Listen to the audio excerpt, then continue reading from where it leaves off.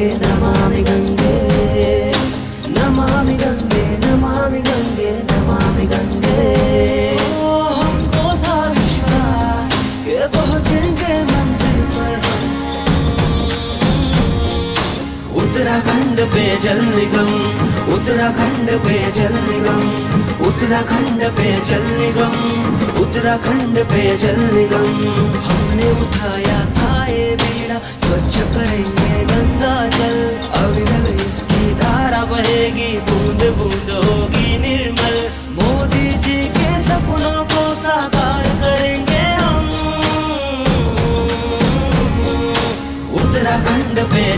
निगम उत्तराखंड पे जल निगम, उत्तराखंड पे जल निगम, उत्तराखंड पे जल निगम। नमामि गंगे नमामि गंगे नमामि गंगे। तकनीकी अपना कर हमने गंगा का सत्कार किया। गंदे नाले जितने भी थे, उन सब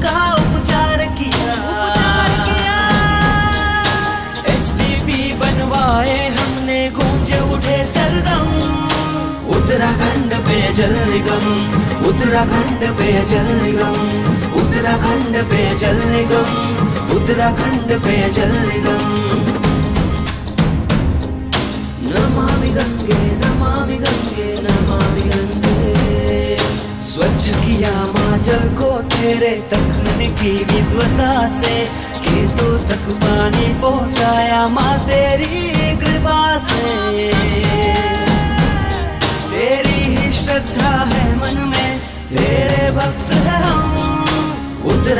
उत्तराखंड पे निगम उत्तराखंड पेयजल निगम उत्तराखंड पेयजल निगम उत्तराखंड पे जल निगम कमिटमेंट क्वालिटी क्लैरिटी के साथ जल ही जीवन है। यही मूल मंत्र है, उत्तराखंड पेयजल निगम का। दूषित जल को शोधन करने में समर्पित है, उत्तराखंड पेयजल निगम, जिसने रफ्तार के साथ साथ पतित पावनी माँ गंगा की स्वच्छता के लिए न केवल प्रण लिया, बल्कि प्रधानमंत्री जी की महत्वाकांक्षी योजना, नमामि गंगे मिशन को साकार करने में भी महत्वपूर्ण योगदान दिया। हरिद्वार से कनेक्ट होने वाली पंद्रह छोटी बड़ी पर्वतीय गंग नहर और गंगा की मुख्य धारा पर स्थापित गंगोत्री उत्तरकाशी सहित पंद्रह स्थानों को एक एक सूत्र में पिरोकर प्रदूषण को समाप्त करने का अभियान चलाया है। माँ गंगा को प्रदूषण मुक्त बनाने के लिए प्रबंध निदेशक श्री वीसी पुरोहित और महाप्रबंधक श्री के के रस्तोगी के सामूहिक नेतृत्व में टीम गंगा पेयजल निगम कटिबद्ध है। और प्रधानमंत्री श्री नरेंद्र मोदी, जल संसाधन मंत्री नितिन गडकरी और मुख्यमंत्री श्री त्रिवेंद्र सिंह रावत के विजन के अनुरूप पानी की गुणवत्ता को अंतर्राष्ट्रीय मानकों के अनुसार दूषित पानी का ट्रीटमेंट कर रहा है। माँ गंगा की गोद से बहने वाला पानी कितना शुद्ध है, इसे जांचने के लिए पेयजल निगम ने खास बंदोबस्त किए हैं। जब हम लोगों ने 2014-15 में नमामि गंगे की परिकल्पना की तो एक विचार था कि गंगा की स्वच्छता के लिए पहले भी कई कार्य किए गए। हम कुछ ऐसा करें कि सही में इसका प्रभाव हो। और इसीलिए इसको एक हमने बहुत ही कम्प्रिहेंसिव तौर पे प्रोग्राम बनाया।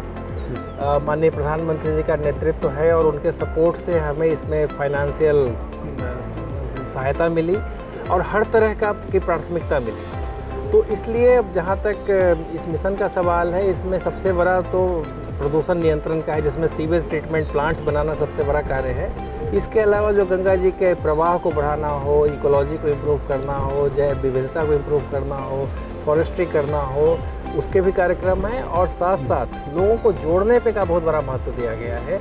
और आज जब हम कुछ वर्षों तक के बाद देखते हैं तो हमने सौ से भी ज़्यादा बड़े बड़े नालों को इंटरसेप्ट कर लिया है, पूरे देश में देखा जाए।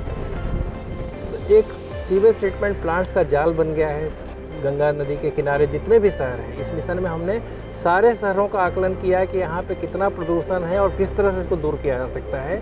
और उत्तराखंड में तो और भी ज़्यादा हमें संतोषप्रद स्थिति है। माननीय प्रधानमंत्री जी ने लगभग सारे मेजर प्रोजेक्ट्स का हाल में ही लोकार्पण किया है और हमें बड़ी खुशी है कि गंगा टाउन जितने हैं उत्तराखंड में, इनके सारे भी सीवरेज प्रोजेक्ट्स को हमने पूरा कर लिया है। तो आइए आपको ले चलते हैं उत्तराखंड पेयजल निगम द्वारा संचालित किए जा रहे हरिद्वार के जगजीतपुर में सराय एसटीपी की कामयाबी के सफरनामे पर। गंगा घाट पर बसे हरिद्वार को मंदिरों, अखाड़ों और आश्रमों से मिलती है एक आध्यात्मिक शहर की पहचान। तीर्थ नगरी हरिद्वार की लोकप्रियता की वजह से कई दशकों से लगातार इस शहर पर आबादी का बोझ बढ़ता जा रहा है। यहाँ पर्यटकों का आना जाना भी बड़ी संख्या में होता है। ऐसे में सबसे ज़्यादा असर कहीं पड़ा है तो वो है हरिद्वार शहर का सीवरेज सिस्टम। आज हरिद्वार में प्रतिदिन 110 एमएलडी यानी 11 करोड़ लीटर सीवरेज जनरेट होता है, जिसको नमामि गंगे प्रोजेक्ट के अंतर्गत बनाए गए जगजीतपुर और सराय एसटीपी में ट्रीटमेंट किया जा रहा है। और ट्रीटमेंट के बाद उसी पानी को सिंचाई के लिए उपलब्ध कराया जा रहा है। इस समय हमारे पास करीब 128 एमएलडी कैपेसिटी है। 128 एमएलडी कैपेसिटी का मतलब है बारह बारह दशमलव आठ करोड़ लीटर पानी हम हर दिन कर रहे हैं। तो इसका मतलब आप समझ के चलिए, तेरह लाख तक पॉपुलेशन यहाँ पर आ जाएगी तो उसको हम कैटर करने के लिए तैयार बैठे हुए हैं। यद्यपि आप जानते हैं हरिद्वार की पॉपुलेशन तो तीन तीन लाख के आसपास ही है, लेकिन यहाँ फ्लोटिंग पॉपुलेशन बहुत ज़्यादा रहती है। तो हम, हमने इस तरह ही बनाए हैं अपने सिस्टम कि कुंभ में कितने भी लोग आए तो एक तरह से एक बूंद भी पानी हम गंदा गंगा में नहीं आने दें। ये सब मुमकिन हुआ है national mission for clean Ganga की वजह से, जिसका मकसद है गंगा नदी में पर्यावरण प्रदूषण की रोकथाम करते हुए उसके नियंत्रण के उपाय खोजना और गंगा में पर्याप्त मात्रा में लगातार जल प्रवाह को सुनिश्चित करना। जब केंद्र सरकार ने नमामि गंगे योजना देवभूमि के हरिद्वार में शुरू की, तब पूरे देश की नज़र इस कुंभ नगरी पर टिक गई, क्योंकि हरिद्वार में ही देश का पहला हाइब्रिड एनिटी मॉडल से एसटीपी तैयार करने की योजना साकार हुई। हरिद्वार में गंगा के जल को प्रदूषण मुक्त करने और सीवरेज सिस्टम को अत्याधुनिक बनाने की ज़िम्मेदारी मिली उत्तराखंड पेयजल निगम। को शहर भर के छोटे, बड़े, सभी गंदे और पुराने नालों को चिन्हित कर उसका गंदा पानी एसटीपी से जोड़कर उन्हें ट्रीटमेंट के बाद दोबारा कृषि कामों के लिए उपलब्ध कराना ही इस प्रोजेक्ट का सबसे बड़ा लक्ष्य है। गंगा में गिर रहे 22 नालों को टैप कर उसके गंदे पानी का शोधन करना, बल्कि सीवेज की हर बूंद को देश के पहले हाइब्रिड एनयूटी से बने जगजीतपुर और सराय के एसटीपी की तरफ़ मोड़ दिया गया है, जहाँ से ट्रीटमेंट के बाद उसी पानी को दोबारा नहरों के ज़रिए खेतों की सिंचाई के लिए भेजा जा रहा है। हरिद्वार में नमामि गंगे की सफल यात्रा पर आगे बढ़ने से पहले एक नज़र डालते हैं। हरिद्वार ज़िले से जुड़ी अहम बातों पर। हरिद्वार का नगरीय क्षेत्र है एक हज़ार तीन सौ सड़सठ दशमलव छह शून्य हेक्टेयर, तीस वार्डो में स्थायी निवासियों की जनसंख्या है। तेईस लाख छह हज़ार आठ सौ पंद्रह। पाँच सैटेलाइट टाउन की जनसंख्या है, छिहत्तर हज़ार नौ सौ सोलह। विभिन्न स्नान पर्वों पर शहर में आने वालों की संख्या में लाखों का इजाफा हो जाता है। यह है जगजीतपुर सीवेज ट्रीटमेंट प्लांट। एक दशमलव आठ हेक्टेयर भूमि पर रिकॉर्ड समय में बनकर तैयार हुआ। ये एस उच्च गुणवत्ता के साथ आज नमामि गंगे के संकल्प को पूरा कर रहा है। खूबसूरत और हरे भरे विशाल परिसर में मौजूद देश के पहले हाइब्रिड एनिटी मॉडल से बनकर तैयार हुए इस कामयाब मेगा परियोजना की बुनियाद रखी 11 अक्टूबर 2017 को। तत्कालीन केंद्रीय जल संसाधन, नदी विकास और गंगा संरक्षण मंत्री नितिन गडकरी ने। यही वो ऐतिहासिक दिन था जब national mission for clean Ganga और उत्तराखंड की राज्य सरकार की एजेंसी उत्तराखंड पेयजल निगम ने हरिद्वार में सीवेज शोधन संयंत्रों, यानी एसटीपी के निर्माण और रखरखाव के लिए प्रोजेक्ट हासिल किया, और एक नए हौसले और उम्मीद के साथ मिशन नमामि गंगे की सफलता के लिए उड़ान भरी।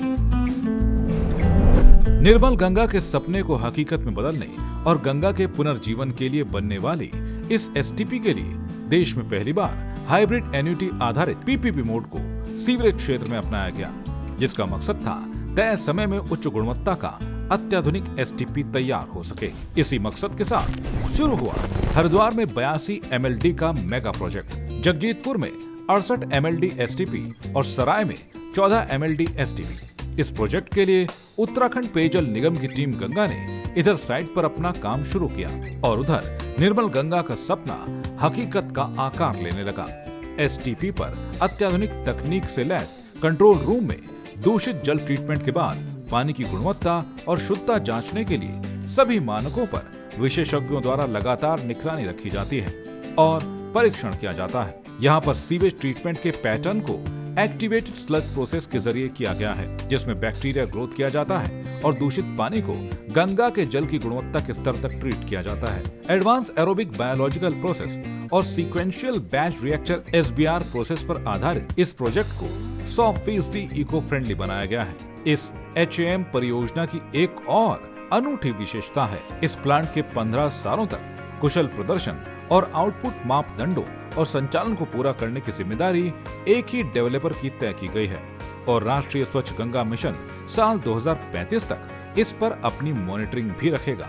जगजीतपुर में बने इस अड़सठ एम एल में कई आधुनिक तकनीक भी इस्तेमाल की गई है। इस पूरे प्लांट को खूबसूरती से इस तरह योजनाबद्ध तरीके से बनाया गया है कि कोई भी सामान्य व्यक्ति यहाँ शहर से आने वाले सीवरेज के गंदे और बदबूदार पानी के ट्रीटमेंट की हर प्रक्रिया को बड़े आसानी से देख और समझ सकता है। इतना ही नहीं, उत्तराखंड पेयजल निगम ने हरिद्वार शहर के कई हिस्सों में हाईटेक डिस्प्ले स्क्रीन भी लगाई है, जिसमें कभी भी कोई भी पानी की ऑनलाइन क्वालिटी देख सकता है। इसके अलावा गंगा तरंग पोर्टल पर भी एसटीपी में शोधित किए गए जल की गुणवत्ता 24 फोर इंटू सेवन देख सकता है। सबसे पहले बात करें, हरिद्वार में सीवरेज वाटर पोल्यूशन और गंगा प्रदूषण की तो समस्या पैदा होती है इन छोटे बड़े नालों से, जिनका गंदा पानी एक समय बड़े बड़े नालों के ज़रिए से गंगा में जाकर गिरता था और गंगा का स्वच्छ जल प्रदूषित हो रहा था।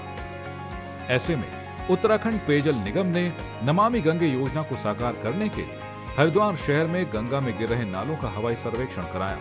जिसमें पता चला कि शहर के अलग अलग इलाकों से 22 बड़े नालों के ज़रिए सीवरेज का गंदा पानी गंगा में गिर रहा था। लिहाजा सबसे पहले इसकी रोकथाम पर काम शुरू किया गया और सर्वेक्षण रिपोर्ट के बाद शुरू हुआ। बयासी एम के एसटीपी प्लांट के निर्माण का कार्य। सरकार ने पेयजल निगम की प्लानिंग पर मोहर लगाई, जिसके बाद जगजीतपुर में अड़सठ एम के इस विशाल हाइब्रिड एस का निर्माण किया गया। तो वहीं दूसरी तरफ़ 14 एम के इस छोटे लेकिन अत्याधुनिक एसटीपी का निर्माण किया गया, जिसमें ज्वालापुर के इस कसावान के नाला टैपिंग से पानी को स्वच्छ कर बड़ी बड़ी पाइपलाइनों से पहुँचाया जाता है एसटीपी में गंदा पानी पहुँचने के बाद उसे एसटीपी के विभिन्न चरणों से गुजारने की प्रक्रिया शुरू होती है एसटीपी के बड़े बड़े हौज दरअसल पानी को शुद्ध करने की प्रक्रिया के विभिन्न चरण हैं। इन्हीं चरणों में पानी की शुद्धता के विभिन्न मानकों के अनुरूप अत्याधुनिक कंट्रोल रूम बनाए गए हैं, जिनमें वैज्ञानिक लगातार अपनी नज़र रखते हैं और अनेकों प्रोसेस से गुजरने के बाद नालों का यही गंदा पानी पेयजल जैसा स्वच्छ हो जाता है। आप STP की इस अंतिम हौज से निकलते पानी को गौर से देखिए। कितना स्वच्छ और कितना निर्मल है। शुद्धिकरण के बाद ये प्रदूषण मुक्त जल बड़ी बड़ी अंडरग्राउंड पाइपलाइनों के ज़रिए 14 किलोमीटर तक फैली उस रीयूज वाटर टू कैनाल में पहुँचाया जाता है, जहाँ से इसी ट्रीटेड वाटर को सिंचाई के लिए खेतों में पहुँचाया जा रहा है। नमामि गंगे की उत्तराखंड में सफल परियोजनाओं में मील का पत्थर बना, सराय में बना ये शानदार सीवरेज ट्रीटमेंट प्लांट यानी एसटीपी जो निर्धारित समय से पहले ही बनकर तैयार हो गया। 14 मिलियन लीटर पर डे अर्थात 140 लाख लीटर सीवेज शोधन क्षमता वाले इस एसटीपी को एक और गौरव हासिल हुआ, जब 5 दिसंबर 2019 को दुनिया की सर्वश्रेष्ठ तकनीकों में से एक एसबीआर तकनीक पर बनकर तैयार हुए इस एसटीपी का शुभारंभ स्वीडन के राजा कार्ल गुस्तफा और महारानी सिल्विया के साथ केंद्रीय जल शक्ति मंत्री गजेंद्र सिंह शेखावत और मुख्यमंत्री त्रिवेंद्र सिंह रावत की मौजूदगी में हुआ। 6000 वर्ग मीटर क्षेत्र में फैले कसावान नाला टैपिंग को पाइपलाइनों से कनेक्ट किया गया। सराय के इस एसटीपी की विशेषता का अंदाज़ा इसकी बनावट को देखकर लगाया जा सकता है। एसटीपी में दूषित जल के शोधन के उपरांत पानी को रीयूज करने हेतु पाइपलाइनों के माध्यम से ही प्रदूषित नालों के गंदे पानी को स्वच्छ कर कृषि कार्यों के लिए खेतों तक पहुँचाया जाता है। सराय में जिस दिन प्लांट बनकर तैयार हुआ, उसी दिन से ज्वालापुर क्षेत्र की सभी छोटी बड़ी नालियाँ नालों में बहने वाले गंदे पानी का नदी में गिरना पूरी तरह से बंद हो गया। क्योंकि इस नवनिर्मित एस में ज्वालापुर की लगभग सत्तर हज़ार की आबादी का सीवर और नालों की गंदगी का ट्रीटमेंट किया जाना शुरू हो गया था।